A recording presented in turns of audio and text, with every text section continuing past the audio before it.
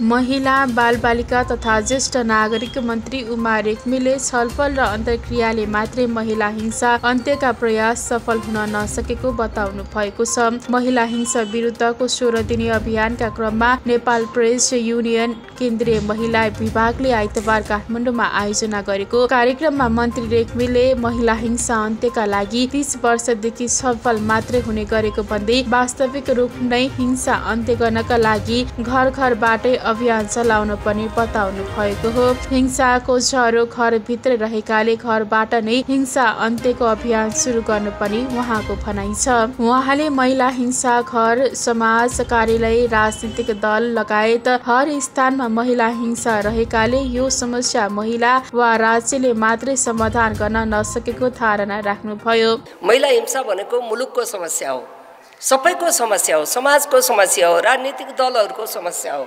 त्यसो भएको हुँदा हामीले चाहिँ नि महिला हिंसालाई छुट्याएर तिस वर्षसम्म के गऱ्यौँ भने महिला हिंसा विरुद्धको अभियान भन्ने अनि महिला महिला चाहिँ नि भेला हुने छलफल गर्ने महिला हिंसा छ भन्ने त्यसले परिणाम निकालेन। अब यसको मोडालिटीमा परिवर्तन गर्नुपर्छ। के मोडालिटीमा परिवर्तन गर्नुपर्छ भने हिंसाको ज्वरो घरभित्र छ। घरैबाट अन्त्य गरौँ के अरे सुरु गरौँ महिला हिंसा अन्त्य गरौँ भनेर गसाले हामीले तय गरेको नारा हो। र घरभित्र छ घरभित्र महिला सुरक्षित छैन।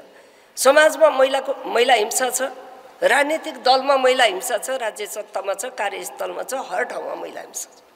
त्यस कारणले यो समस्या महिलाले मात्रै समाधान गर्न सक्दैन राज्यले मात्रै समस्या समाधान गर्न पनि सक्दैन।